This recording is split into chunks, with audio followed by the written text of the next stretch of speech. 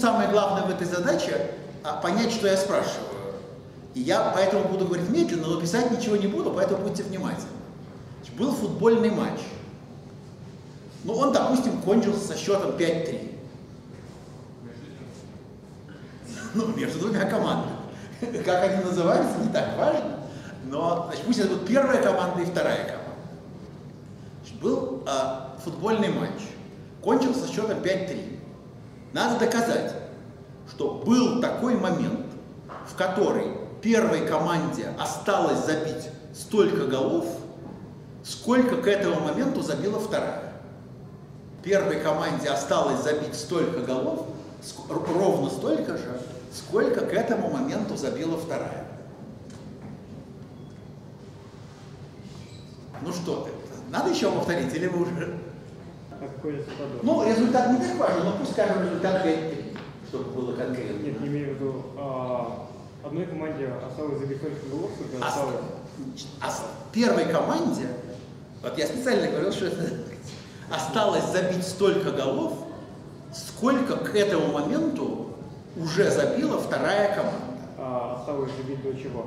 До конца матча. До конца матча. Осталось до конца матча забить столько голов, сколько к этому моменту забила вторая.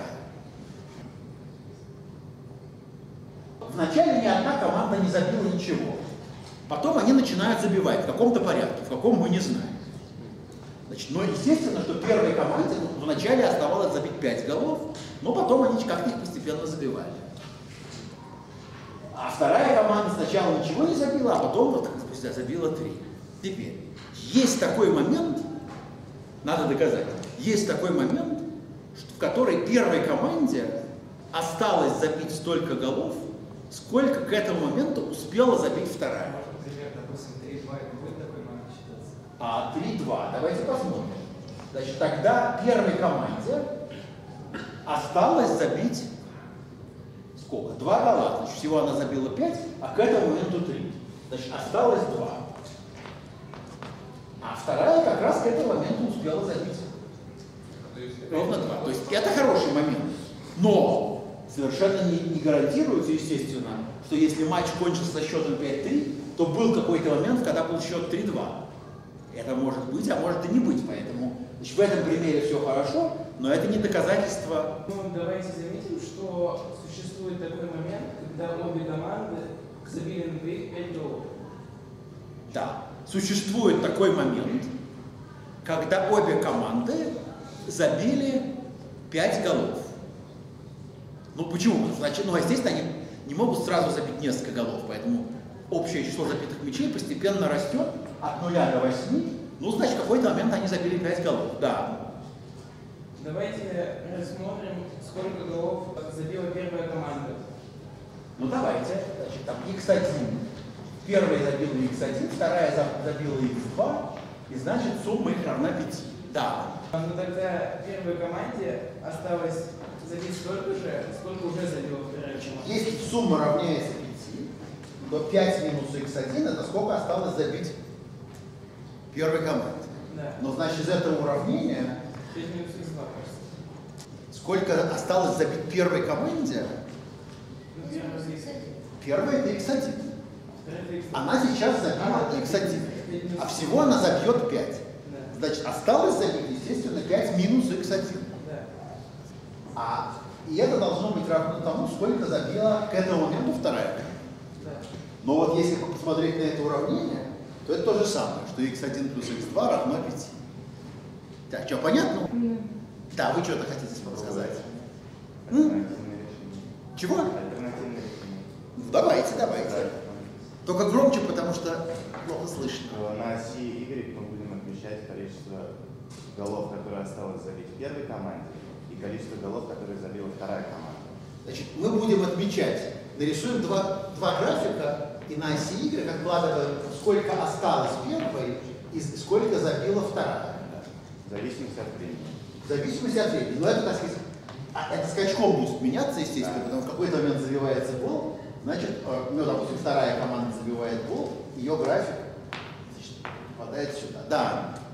Проведем два графика. Значит, нарисуем два этих графика.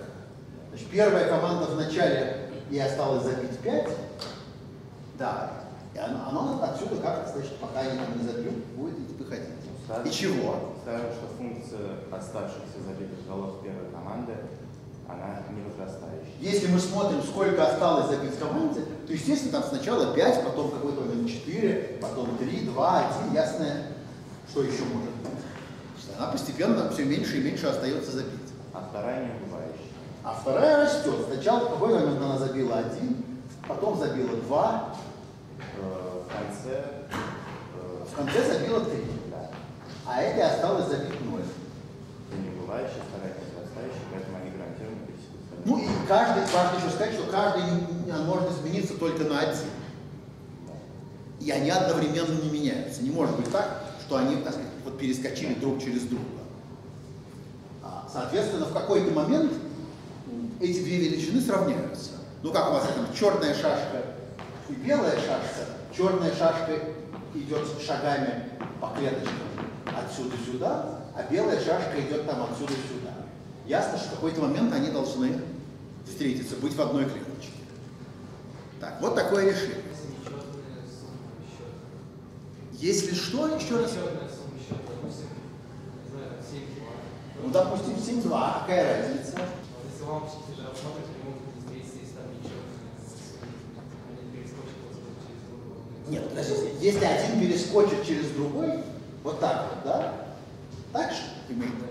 Но это означает, что он каким-то образом сразу забил два гола. А, Ну как, здесь так, теория 1, 2, 3, там четная, но и нечетная. Нет, я не знаю. э, В футболе, по-моему, не бывает таких случаев, чтобы засчитывали сразу два гола. Так что здесь важно, что меняется не больше, чем на один. Вот такой, такой прием доказательства, который называется там непрерывность или там промежуточное значение или что-то еще. Вот мне хотелось бы, чтобы это все было понятно, вот, вот- это- это- эти задачи, одномерные задачи были бы понятны, потому что следующие будут сложнее, если мы что-то здесь не разберемся, то дальше мы запутаемся.